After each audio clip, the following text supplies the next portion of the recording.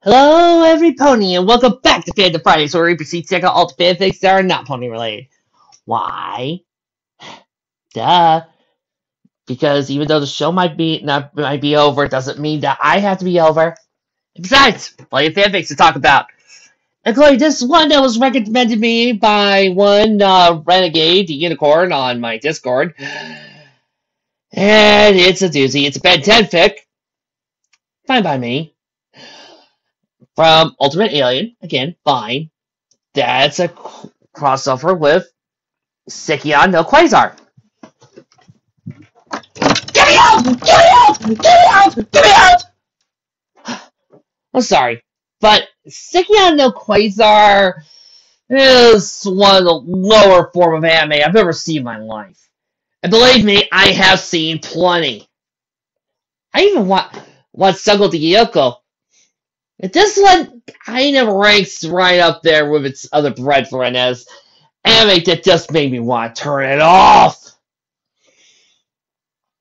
Not only is it a low-brow harem anime, but its whole entire premise is just squeaky. But I suppose somebody's got to read at least one chapter of this bullshit, and it might as well be me. So without further ado, please enjoy Dustin 10 Hero Stigmata. Enjoy. Dustin 10 Hero Stigmata by Dustin Hogan. Oh, you've got to be kidding me. What? What? Oh, for Pete's sake! So, not only is this a harem anime, not only is this a fanfic where the main character gets all the boobs, but it's a self-insert piece of shit! Oh! You're gonna make me love you. That's not fair! What was that? That's not fair! Excuse me a second.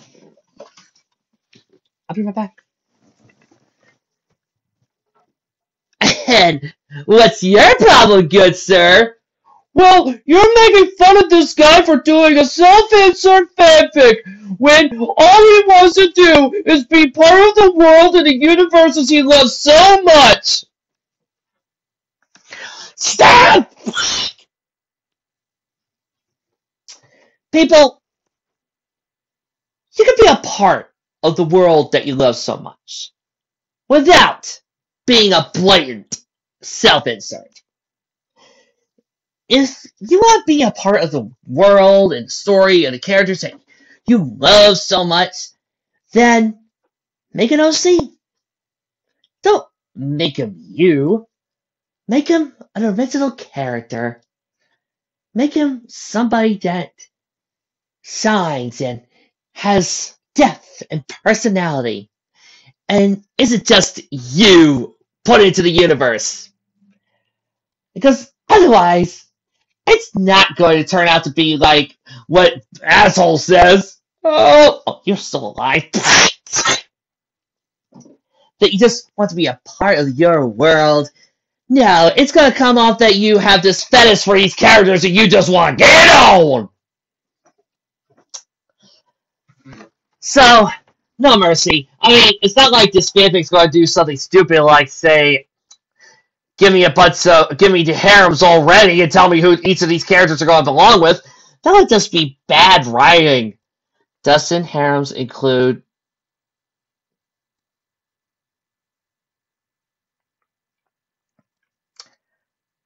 Ladies and gentlemen, I think we found a fanfic that's got going to get any mercy from me.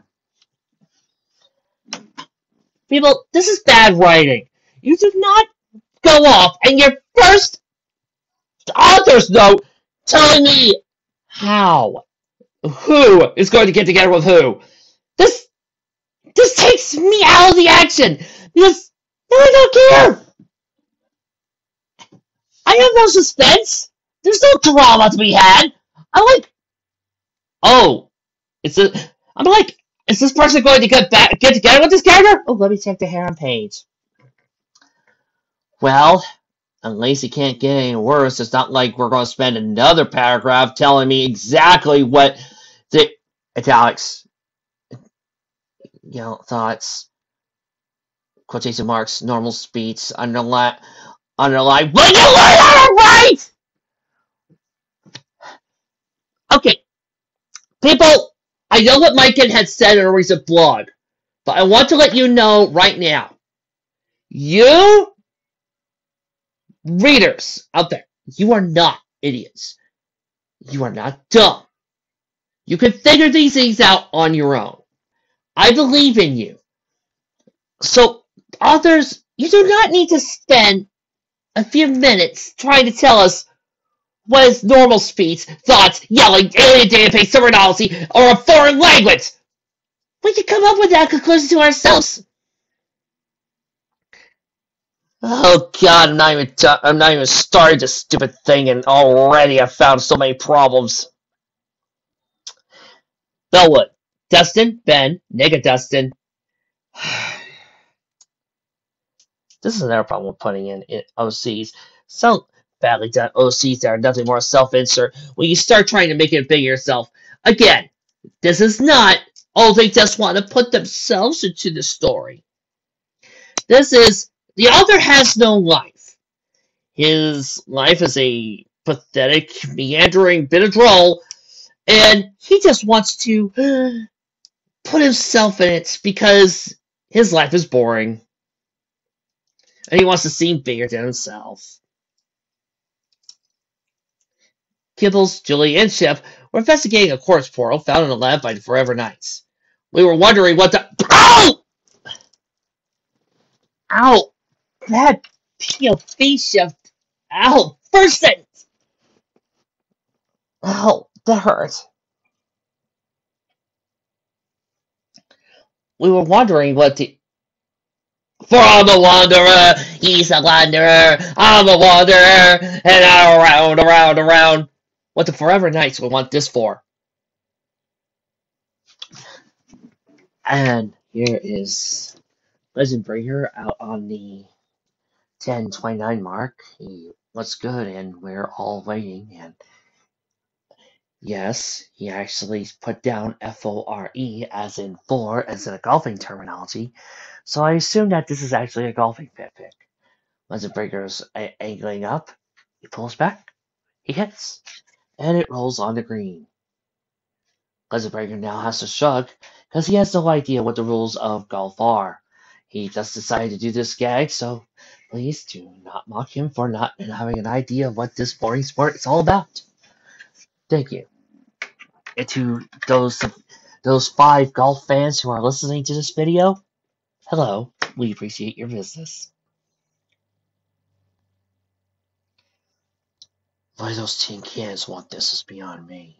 Ben said, No, no, no, no, no. This is Yuri not being Sasuke! Don't care what to do, Sasuke! I was thinking the same thing, Kibble said with a nod. Whoever that is! Ship, ship! Ship nodded when she agreed. And out of warning, the portal activates for no reason. They couldn't find nothing to hold on to and got sunk into the portal.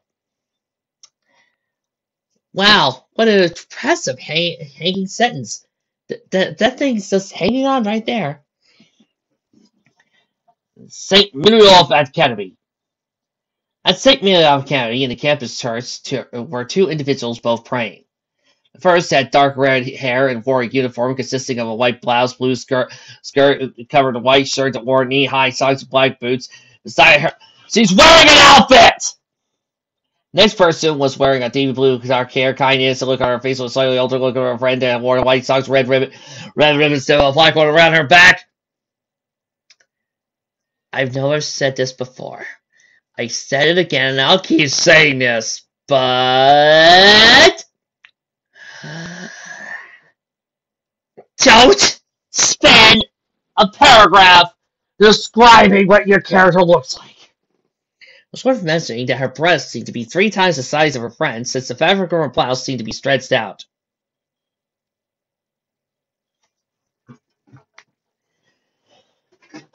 People,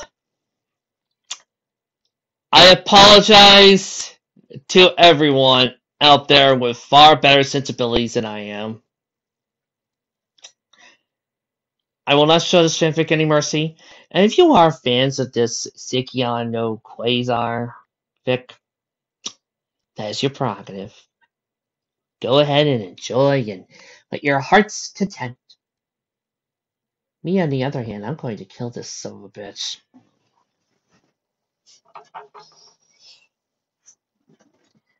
The redhead once stood up, opening her eyes to reveal her purple orbs as she remembered the words of her caregiver. Come, Mayfu. Tomo, it's time to pray. Red girl, known as Mayfu, has sad look on her face. She remembered being carried by the man, who she saw as her father's returns. Wonderful. An icon is also a window to eternity. Could pass through this icon see the word of God. He told him as he pressed. Oh, I'm sorry, D. I'm sorry. I I want to fix that, but I can't. One day, Uncle Tomo's father left, leaving only a letter to say, "Please don't worry about me, and don't you forget about me." Not Mayfu. Where could you have gone? She wanted to herself as she took out the watch that left her. All right, Tomo, it's time to go. She told her friend, picking out the bag, looking over her shoulder, saw Tomo had apparently fallen asleep. I really can't believe this girl, she said, pulling out her candle. Wake up. Her sword style? No, no, no. I, I think they're referring to the wooden bamboo sword. But that's not what a bamboo sword is called. It's called a shinai. Look, this author apparently got all his knowledge from Japan from reading a badly done English to Japanese translator. Oh, so you mean normal fan subs, huh? Later. A few minutes later, the two were walking back to the main campus. You're so mean, Mafei-chan, said Tomo, rubbing her head, while her breast giggled and see. I, I'm sorry. See, repeat that line again. While her breast giggled.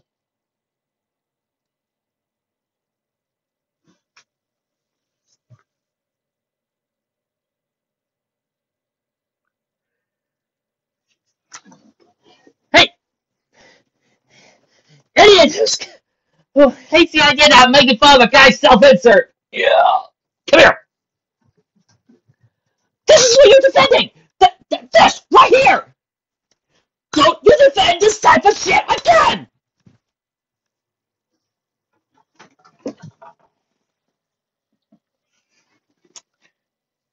You know, I always knew that some of these anime girls' um, breasts would become so huge that um, not only would they uh, become ridiculous in size, but they would also gain sentience. It's a punishment out of love, she called back. Who called back? Tumble Ed in confusion. You've been absent for school for three days. You have to be on time for the first day of your return. She told her friend slash sister as she went out not lying to. Then Uncle used to say, being the daughter of headmaster, you shouldn't be late or absent from school. She continued smiling. Thinking about it for a moment, Tomo put on a big warm smile on her face and waved. Thank you, Mafia-chan, she said as her friend laughed.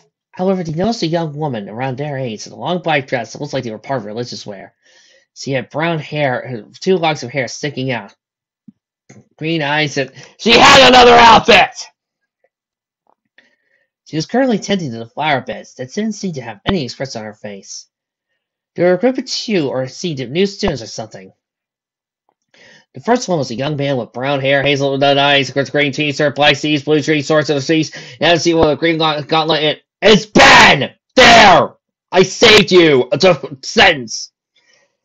Besides him was a man looking somewhat like him, but gray shirt, purple white person, first one in blue jeans.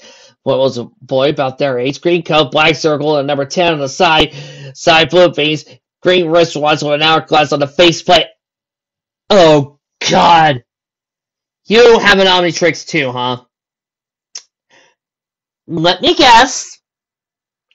It's just as powerful as Ben's, right? No. It's stronger than Ben's because it was made by other aliens that were more advanced. And oh, let me guess, Dustin, you have the power to control it. You can control Alien X. Ooh, so macho, so powerful and strong. And they say guys like me don't insult the male Gary Stus. I do. I really do. But of course, You had the idiots like uh, out there who wrote it for the rest of us to make us look make us genuine fears look bad. Justice PLP. Ow! See whiplash. Ow! Ow! What a thicker, will ya? We woke up and we were noticed that we were near what looks like a religious academy. We decided to spot out the place to get some answers, wondering where we are. Kibbles and Dustin put on their human disguises to avoid suspicion. We walked upon we walked hoping to find somebody who's found a woman around Ben and age and long black dress to look like they were part of religious wear. Periods! Do you speak them? While green eyes are crossed around her back. She was a monk. We went to ask her where we are, hoping we could she could help, but then we heard somebody. It was Pike. She wanted to beat the snot out of him.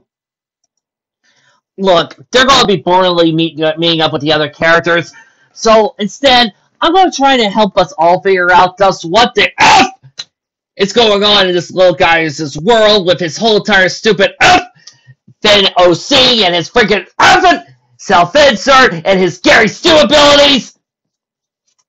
Speaking of which, hey, loser! Yes? Get that you, as far as you're concerned, self, badly done self-inserts are just the bad writer wanting to integrate himself into that world. But um, how do you explain overpowered Gary Stewiness, where um, the guy overdoes everything and is so much better than everybody else? That happens. Yeah, that that that, that happens. I always thought, what?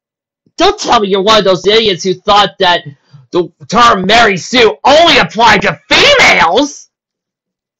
Well, that's what some of those other people used to say. You're an idiot. And those other guys who call Twilight Sparkle a Mary Sue and call so many other girls a Mary Sue, they're idiots too. Because they only use it to call out characters that they don't like.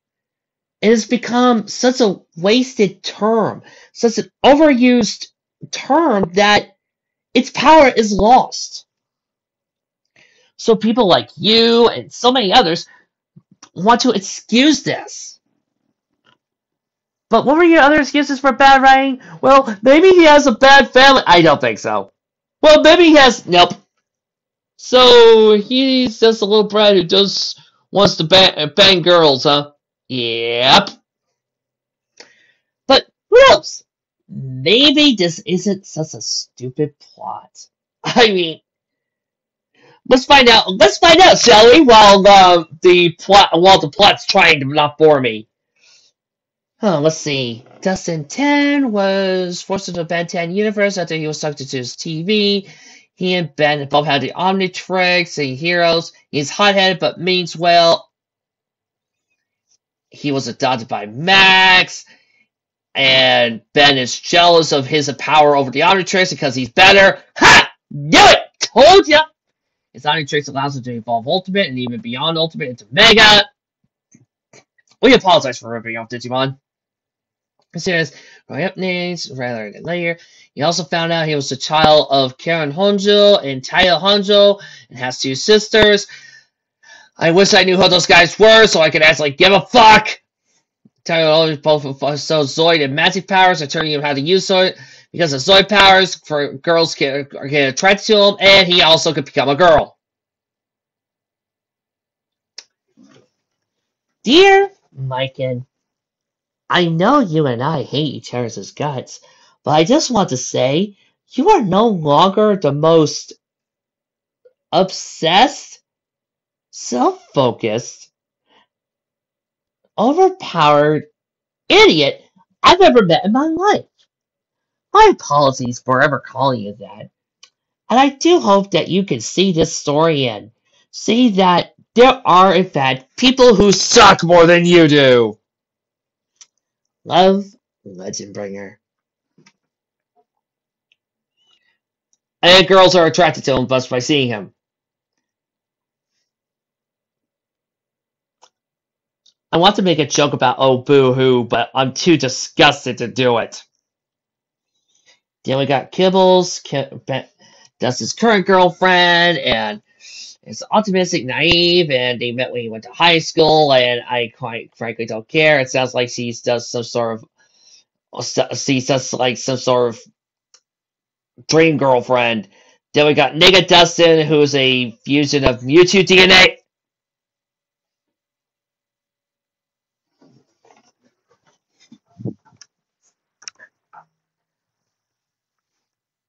Fanfic? Fanfic series? You and I have got to have words. Um, I would just like to make this statement that um, as of right now, I think I found a new target. Please tell me this guy's an asshole because I need this. I. Future DNA? Really? I. What? I. I. I need to talk to someone. It, it, it, I just need to talk to someone for a moment. Okay. I just talked to my supervisors, and they basically pointed out this is one of the most stupider things I've ever seen in my life. Well, at least he's not some sort of god uh, Yu-Gi-Oh uh, card dealer, dealer, and able to wield awesome, awesome uh, Yu-Gi-Oh cards or something like that. That would just be stupid. Yep. There we go. And he has evil monsters based off of Big Bad Beetleborg's characters from his friend. Right, so I could tell that the man writing this fanfic apparently never read um, the Idiot's Guide to Not Sucking. Oh, but meanwhile, what I? Meanwhile, how's everything going? Oh, I obviously missed part of the fic. Well, at least the rest of this is not like the comic, right? I, I get it, I get it. Soma is a mixture of breast milk, life energy, and yada yada yada, drawn from the breast. And this is somebody's kink.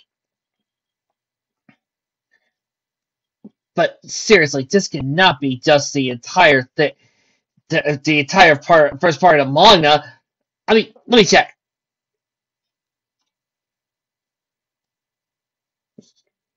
Yes! It is just the first chapter of the manga!